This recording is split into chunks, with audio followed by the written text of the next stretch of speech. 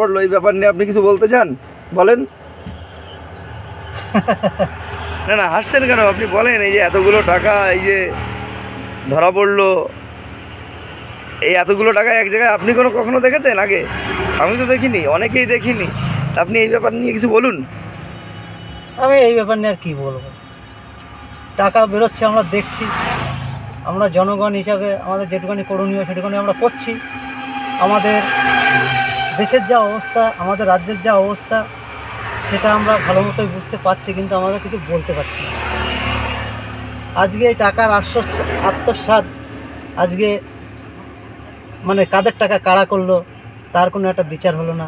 আমাদের ভারতবর্ষের প্রধানমন্ত্রী, তিনিও কোনো একটা মানে সঠিকভাবে, সঠিক সিদ্ধান্ত নিতে পারছেন না। যার জন্য আমাদের এই অবস্থা পশ্চিমবঙ্গের আজকে যে পরিস্থিতির মধ্যে পড়ে আছে, আমরা জানি যে পশ্চিমবঙ্গের অবস্থা খুব খারাপ, কিন্তু আমরা কিছু বলতে পারছি না। এই কারণে বলতে পারছি না, আমরা সাধারণ মানুষ, অটো চালিয়ে খাই।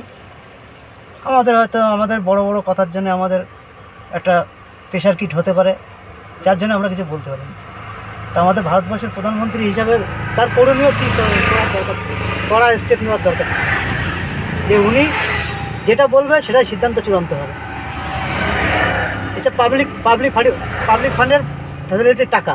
তাই এসব টাকা পয়সা পাবলিকের যারা নিয়েছে তাদের পাবলিকের হ্যান্ড ওভার করে দেওয়া উচিত। ওনার বিচার এটাই হওয়া উচিত।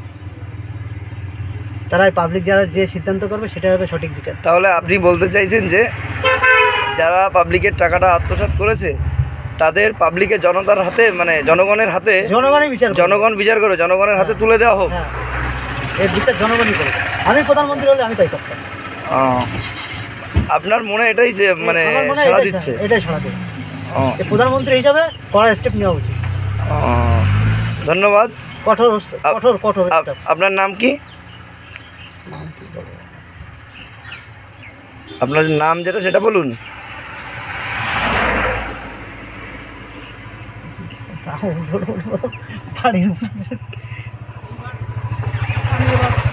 আমার কৌশিক রায়। ধন্যবাদ কৌশিক রায়কে